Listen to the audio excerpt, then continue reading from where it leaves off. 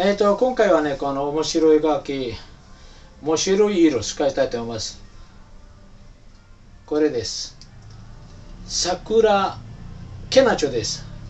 なかなかないですね、この色が。で、このイメージできたのはやっぱり、あの、日本で有名ですね。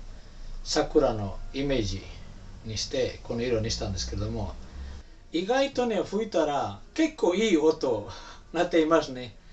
もったいないので、ぜひ誰か使ってみたいですね。本当にすごいいい音になっています。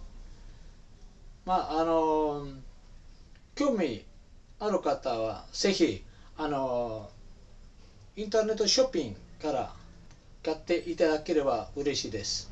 はい。まあ、一回吹いてみますね。で、どうぞ切ってください。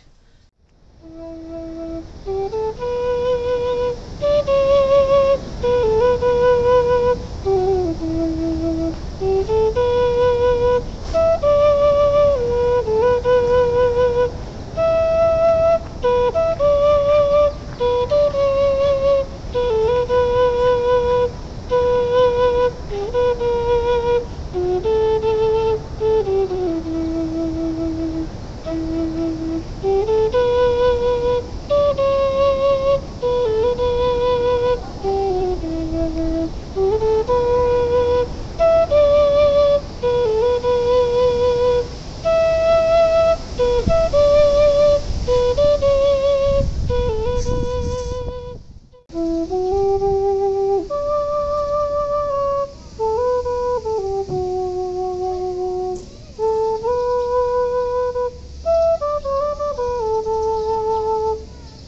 Ooh.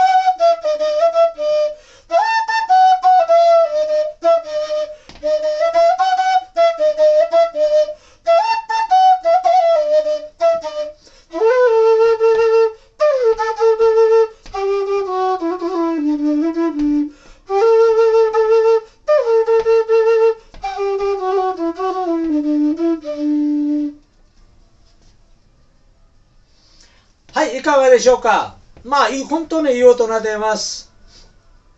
まあ、ぜひ、誰か使ってみてください。よろしくお願いします。それでは、チャオ